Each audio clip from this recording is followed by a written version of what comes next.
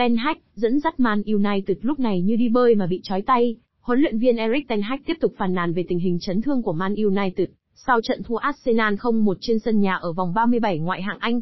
Bất kỳ huấn luyện viên nào luôn có thể làm điều gì đó tốt hơn, nhưng tôi đã ở đây 2 năm và chỉ có đội hình mạnh nhất một lần. Bạn không thể phát triển một đội có quá nhiều chấn thương, Ten Hag nói sau trận thua tại Old Trafford ngày 12 tháng 5. Nó giống như bơi với hai tay sau lưng. Bạn phải giữ đầu trên mặt nước và chúng tôi đang cố gắng làm điều đó. Theo huấn luyện viên người Hà Lan, từ khi nắm quyền tại sân Âu Trafford hè 2022, ông chỉ có lực lượng mạnh nhất ở trận thắng Man City 2-1 trên sân nhà, tại ngoại hạng Anh ngày 14 tháng 1 năm 2023. Trận đó, Jack Grealish mở tỷ số cho đội khách, trước khi Bruno Fernandes và Marcus Rashford lập công cho chủ nhà. Còn trên sân Old Trafford hôm qua, Man United vắng 10 cầu thủ trong đội một vì chấn thương, gồm những trụ cột như Bruno Fernandes, Marcus Rashford, Lisandro Martinez hay Rafael Varane. Vì thế, Ten Hag phải tiếp tục đẩy cây Miro về đá trung vệ với lão tướng Johnny Evans, còn Sợp Amrabat đá cặp với Kobe Mainu ở khu trung tuyến.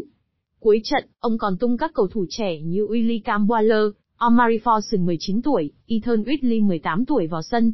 Trận này, Man United không quá lép vế, khi kiểm soát bóng 55%, dứt điểm 14 lần với hai cú trúng đích, so với 11 và 5 của Arsenal. Nhưng việc thiếu các trụ cột khiến họ không tạo nhiều cơ hội rõ ràng.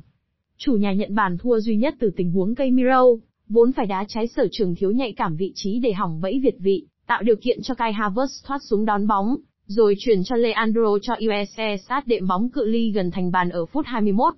Đây là trận thua thứ 9 của Man United trên sân nhà trên mọi đấu trường mùa này, bằng với thành tích tệ nhất vào các mùa 1920 đến 1921, 1930 đến 1931, 1933 đến 1934, 1962 đến 1963 và 1973 đến 1974. Họ chỉ thắng một trong 9 trận gần đây nhất trên mọi đấu trường, khi hạ câu lạc bộ đã xuống hạng Sheffield United 4-2.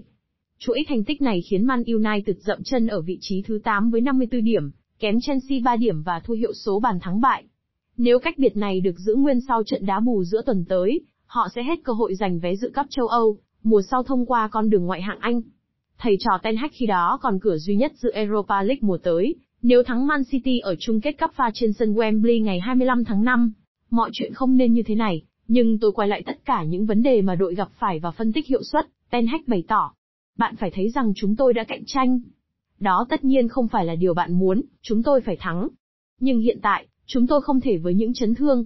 Ten Hag thừa nhận việc Man United vắng mặt ở cấp châu lần đầu tiên sau 10 năm là điều vô cùng tai hại, nhưng chưa từ bỏ hy vọng. Chúng tôi có cơ hội để nắm bắt và chiến đấu, ngay cả khi vấn đề trở nên nghiêm trọng, ông nói.